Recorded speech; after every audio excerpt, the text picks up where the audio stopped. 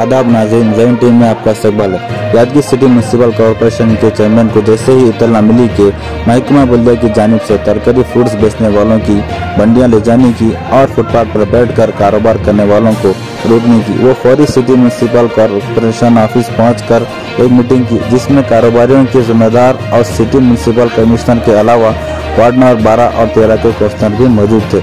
सबने मिलकर मामले को सुलझाया और सभी कारोबारियों को वार्निंग दी कि कोविड के गाइडलाइंस पर पाबंदी से अमल करें।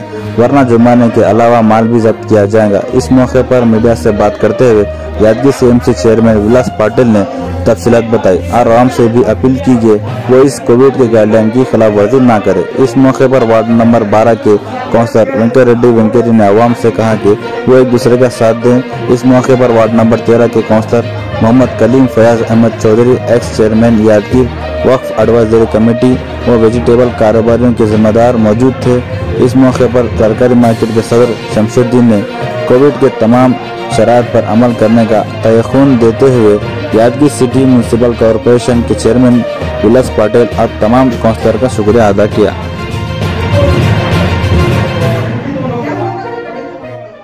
ಇವತ್ತು ಯಾದಗಿರಿ ನಗರದಲ್ಲಿ ತರಕಾರಿ ಮಾರುವಂತ ಮಾರ್ತಕ್ಕಂಥ ವ್ಯಾಪಾರ ಮಾಡ್ತಕ್ಕಂಥವ್ರು ಇವತ್ತು ನಮ್ಮ ನಗರಸಭೆಯಲ್ಲಿ ಬಂದು ಪ್ರತಿಭಟನೆ ಮಾಡಿದ್ದರು ಕಾರಣ ಏನಪ್ಪ ಅಂತಂದ್ರೆ, ಅವರಿಗೆ ನಮ್ಮ ನಗರಸಭೆ ಕಡೆಯಿಂದ ನಮ್ಮ ಅಧಿಕಾರಿಗಳು ಅವ್ರ ಮೇಲೆ ಏನೋ ಪೆನಲ್ಟಿ ಅಂತ ಹಾಕೋದು ಮತ್ತು ಇನ್ನೊಂದು ಅವರು ತಗೊಂಡು ತಗೊಂಡು ಹೋಗುವಂತೇಳಿ ನಮ್ಮ ನಗರಸಭೆ ಸಿಬ್ಬಂದಿಯವರು ಹೇಳಿದ್ರಂತೆ ಅದಕ್ಕೆ ನಾನು ಬಂದು ಅವರೆಲ್ಲರೂ ಕರೆಸಿ ಮತ್ತು ಅವ್ರ ಜೊತೆ ಮಾತಾಡಿ ಸೋಷಿಯಲ್ ಡಿಸ್ಟೆನ್ಸು ಮತ್ತು ಸರ್ಕಾರ ಮಾರ್ಗಸೂಚಿಗಳನ್ನು ಪಾಲನೆ ಎಲ್ಲರೂ ಕಡ್ಡಾಯ ಮಾಡಲೇಬೇಕು ಅಂತೇಳಿ ಅವರಿಗೂ ಕೂಡ ನಿರ್ದೇಶನ ಮಾಡಿ ವ್ಯಾಪಾರ ಮಾಡಲಿಕ್ಕೆ ನಮ್ಮ ನಗರಸಭೆ ಕಡೆಯಿಂದ ಅವ್ರಿಗೆ ಅನುವು ಮಾಡಿಕೊಟ್ಟಿದ್ವಿ.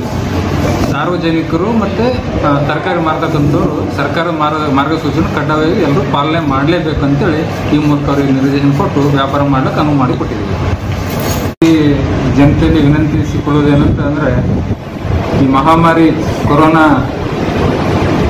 ಬಹಳ ಹರಡ್ತಾ ಇದೆ.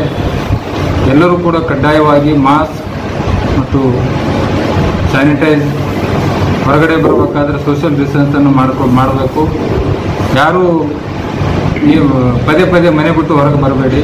ಏನಾದರೂ ತಮಗೆ ಕೆಲಸ ಇದ್ದರೆ ಮಾತ್ರ ಹೊರಗಡೆ ಬಂದು ಕೆಲಸ ಮುಗಿಸ್ಕೊಂಡು ಮತ್ತೆ ಮನೆಯಲ್ಲಿ ಇರಬೇಕಂತೇಳಿ ಈ ಮೂಲಕ ತಮ್ಮ ಸಾರ್ವಜನಿಕರನ್ನು ವಿನಂತಿ ಮಾಡಿಕೊಳ್ತೇನೆ. ಈಗಾಗಲೇ ರಾಜ್ಯದಲ್ಲಿ ಮಹಾಮಾರಿ ಬಹಳ ಹಬ್ತಾ ಇದೆ. ಮತ್ತು ಮೃತರ ಸಂಖ್ಯೆ ಕೂಡ ಹೆಚ್ಚಾಗ್ತಾ ಇದೆ ಆದ ಕಾರಣ ಎಲ್ಲರೂ ಕೂಡ ಮನೆಯಲ್ಲಿ ಇದ್ದು ಈ ಮಹಾಮಾರಿ ಕೊರೋನಾವನ್ನು ನಾವೆಲ್ಲರೂ ಕೂಡ ಹೋರಾಡಬೇಕು ನಾವೆಲ್ಲರೂ ಕೂಡ ಒಂದಾಗಿ ಹೋರಾಡಿದರೆ ಕೊರೋನಾವನ್ನು ನಾವೆಲ್ಲರೂ ಗೆಲ್ಲಬಹುದು ಅಂತೇಳಿ ಈ ಮೂಲಕ ತಮ್ಮೆಲ್ಲರೂ ವಿನಂತಿ ಮಾಡಿಕೊಡ್ತೇನೆ नगर सभा में पूरे जिले मार्केट के लोग आए थे जो म्यूनसिपालिटी के हमारे अध्यक्ष नगर सभा के अध्यक्ष और काउंसलर्स कमिश्नर्स उनको कुछ उनको तकलीफें जो भी थे वो पूरा सहूलत करके उनको जो है ना बेचने के लिए बिल्कुल इजाज़त दिया है। बारह बजे तक सोशल डिस्टेंसिंग और मास्क कंपलसरी डालना, अगर कोई नहीं डालेंगे सोशल डिस्टेंस नहीं रहेगा, उनको पेनल्टी डालने के लिए हम खुद कमिश्नर को बोल दिए सो क्योंकि वजह है कोविड नाइन्टीन उन्होंने भी साथ देना और हम भी साथ पब्लिक का साथ देना। दोनों है, ज़रूरी है। इसलिए उनको भी समझाए इनको भी समझाए जहाँ तक हो सके वहाँ तक सोशल डिस्टेंस और, जितना हो सके उतना जल्दी बंद करने के लिए सबको बोल दिए सर।